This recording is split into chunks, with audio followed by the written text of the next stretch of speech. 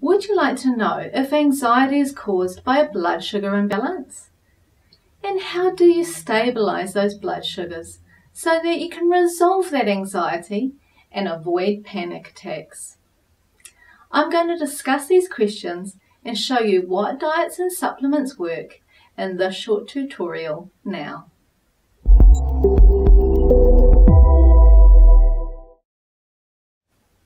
Hi, I'm Dr. Janelle Sinclair, biochemist and natural medicine practitioner, and I'm here to help you uncover a biochemical cause, discover a natural treatment, so that you can recover from depression and anxiety.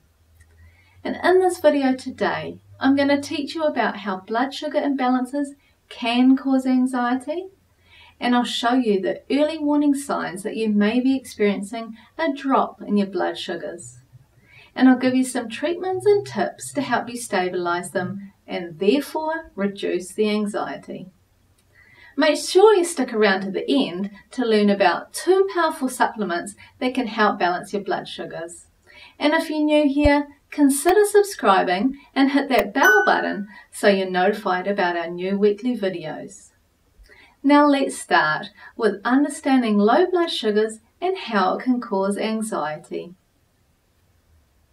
Low blood sugar is pretty simple to understand. Basically, there's not enough sugar or glucose in the bloodstream to meet the body's demands, especially the brain. You see, the brain needs sugar to function.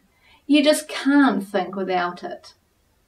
Now, hypoglycemia is another name for low blood sugars, and reactive hypoglycemia is a type of low blood sugar that occurs in reaction to what you're eating, and it takes place one to four hours after a meal.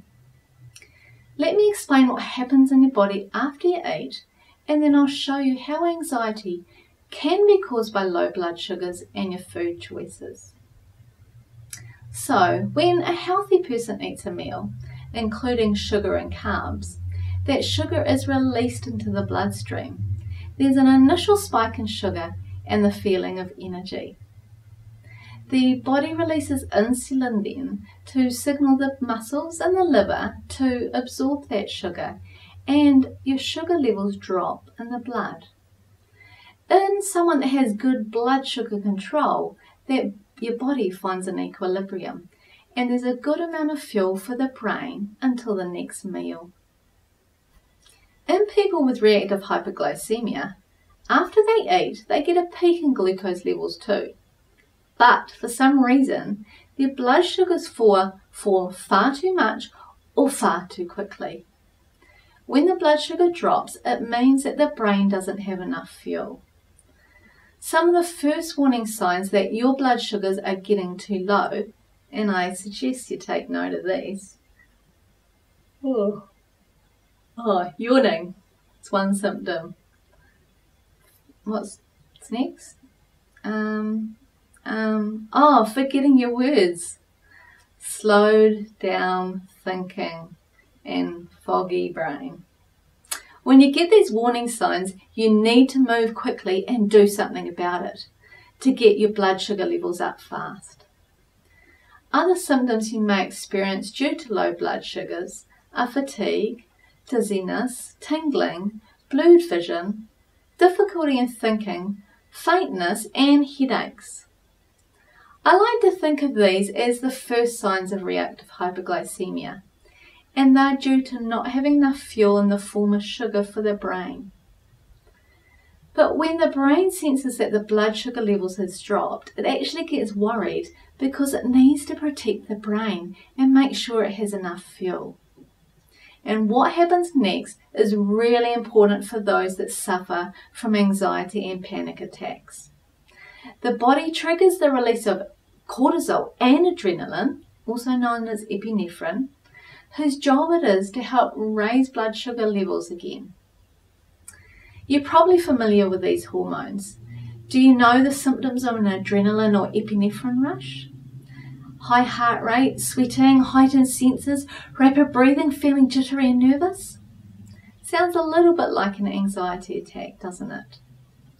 Well, that's what people can experience if they're sensitive to these drops in their blood sugars. And I've seen clients, even in my appointments, like this. They're doing really well for an hour, and then for some reason, something changes and their thinking starts to slow down. They become a bit dizzy, a bit confused, and a bit fatigued. And then if we don't get some food into them fast, anxiety and panic attacks can come.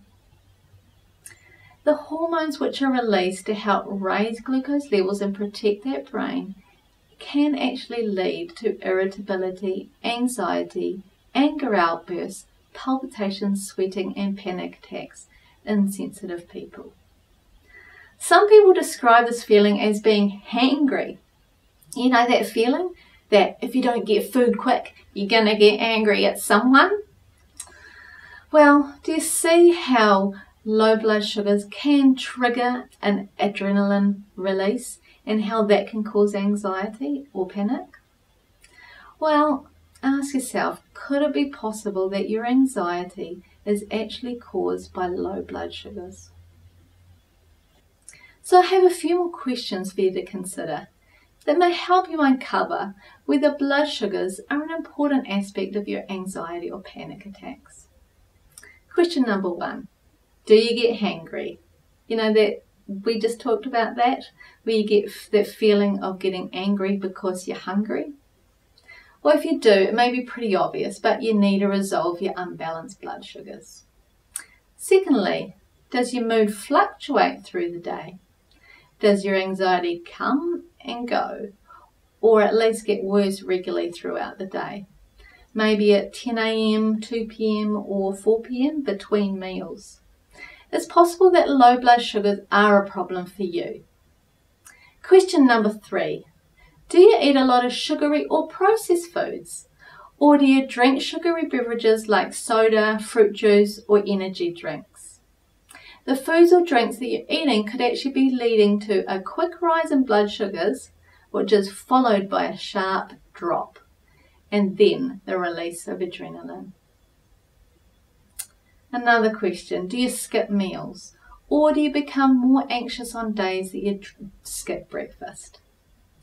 Although this isn't technically reactive hypoglycemia, but rather low blood sugars due to fasting, by not fueling your body, you may inadvertently be increasing your chances of anxiety by triggering an adrenaline release due to low sugars levels in the bloodstream.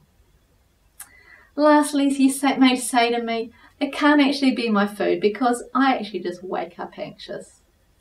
Well, if you wake up anxious, it's possible that your blood sugars have actually dropped through the night. This may be due to a nutritional deficiency, but also due to food, bad food choices before you go to bed. Did you eat some lollies, a piece of cake, a hot chocolate, or a wine last night?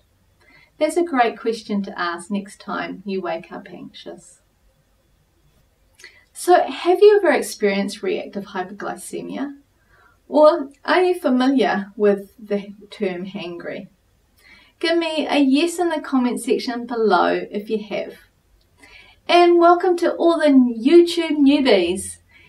You'll find the comment section below the suggested videos if you're on your mobile. So let's move on and discuss the treatment of reactive hypoglycemia and let's start with diet. I'm going to give you five tips today on what foods to eat or avoid to help stabilize those blood sugars. So tip number one, Reduce sugar and processed foods in your diet. So cut out the sweets, the biscuits, the cakes, the white bread, wine, soft drinks, and fruit juice. Sounds pretty simple, eh? I know it's not, and for the first three to seven days, you may struggle with that.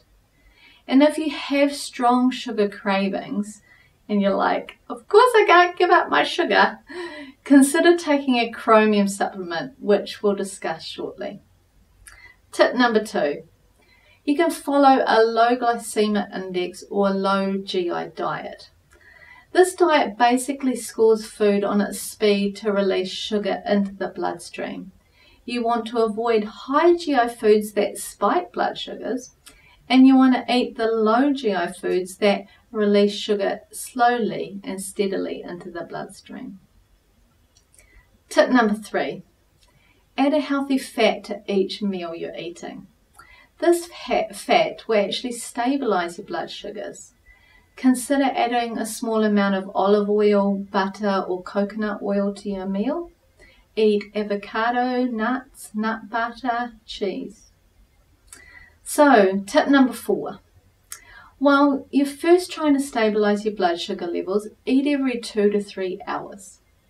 Have a healthy protein and fat based snack at morning and afternoon tea. And listen to me, don't skip meals. Tip number five add quarter to half a teaspoon of cinnamon in your food every day. Easy tip this spice is known to help stabilize blood sugars. And I have a bonus tip for you. If you're starting to experience the warning signs of low blood sugars, do you remember those? Like yawning, forgetting your words, your thinking slowing down. Get some high quality food into yourself fast. This could be something like apple slices or a banana with almond or peanut butter, a handful of nuts, some date balls, or quality bread with avocado. And that bread should be preferably gluten free or paleo. Now let's discuss two supplements that are known to help stabilize blood sugars and therefore could be really helpful for reducing anxiety and panic attacks. Number one, chromium. Chromium is great for anyone that gets hangry, has sugar cravings, that's an important one, is struggling with their weight or has anxiety. The two forms of chromium I recommend are chromium picolinate and chromium polynicotinate. The effective dose for an adult is from 400 to 1000 micrograms per day. An average dose that I prescribe my clients is 600 micrograms. The more overweight you are, the higher the dose you should consider taking. Supplement number two is alpha lipoic acid. Now, alpha lipoic acid is another great supplement to use for unbalanced blood sugars, and it is a powerful antioxidant. The effective dose for an adult is 600 milligrams per day. Now, chromium and alpha lipoic acid are safe alongside antidepressant medication. If you're on diabetic medication, make sure that you monitor your blood sugar levels when starting these supplements and adjust your diabetes medication accordingly. Now you know a little about how low blood sugars can lead to anxiety and panic attacks. But what you may not know is that there are other physical causes of anxiety, like mineral deficiencies and problems with the gut. I suggest you check out my recent videos on zinc deficiency and anxiety, as well as brain fog, and that brain fog video actually discusses how a bacterial overgrowth in the gut can lead to depression and also anxiety. And if you found this video helpful, please like it and share it with anyone that may benefit from it. And hit that subscribe button so that you can keep up to date with our new weekly content. Thanks for watching and I'll see you in the next video.